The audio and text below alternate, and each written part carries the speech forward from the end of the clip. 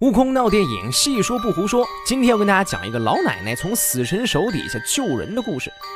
女主小珍是一家养老院的工作人员，照看着的都是一些上了年纪或者老年痴呆的病人，十分的辛苦。但是心地善良的她总是累并且快乐着，因为她是真正的发自内心喜欢这份工作的。连医院里有名的难产老太太安藤也被她照顾的是服服帖帖的。而作为回报，安藤一直提醒小珍。要注意身体哦，不然你一定会死得很早的。这关心的话，听着咋就这么膈应人呢？而且大部分工作都是安藤给折腾出来的呀。小珍听完也只能苦笑了，然后继续拼命的工作。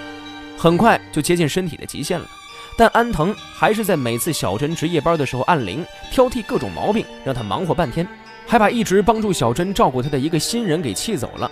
而再招人又很难，领导便想要暂时让他把所有工作都承担下来。他也只能硬着头皮答应了，连着上了一个夜班和一个早班，完全没了精神。安藤却还是一个劲儿的按铃，等到下班的时候，他是真的受不了了，闭上眼睛就能睡着。本想要在车里休息一会儿再回家的，可害怕时间太晚了会有危险，还是开车上路了。不得不说，疲劳驾驶加上女司机，杀伤力简直是百分之百，开的是东倒西歪。尽管路上没刹车，他还是撞上了电线杆。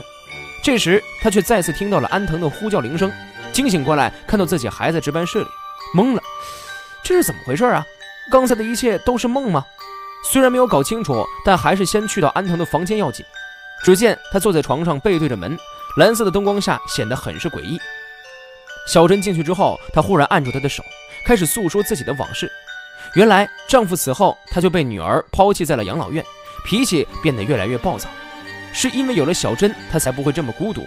她一直很感激她。想把自己带在身边的护身符送给他，小珍笑了。有了这一句感谢，自己一直以来的苦和累就都值得了，并不想要什么礼物。可安藤却执意要塞给他，说是自己的报恩。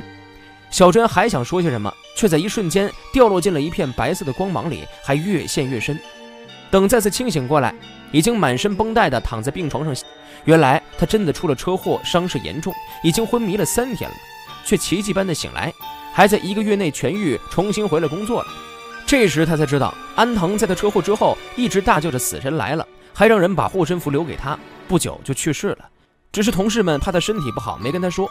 看着手上的护身符，小珍终于明白了，安藤真的可以看到死神。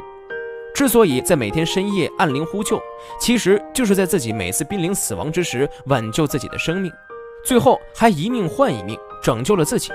小珍是满满的感动啊。